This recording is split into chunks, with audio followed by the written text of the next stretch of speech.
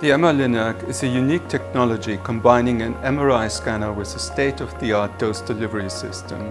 We anticipate that the MR-Linac will completely revolutionise the way we deliver radiotherapy. This is the first installation of this technology in the UK and the fourth worldwide.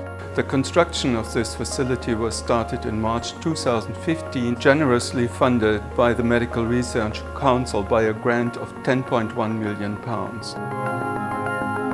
One of the most challenging aspects of high-precision radiation therapy is to hit an invisible, often moving target with an invisible beam.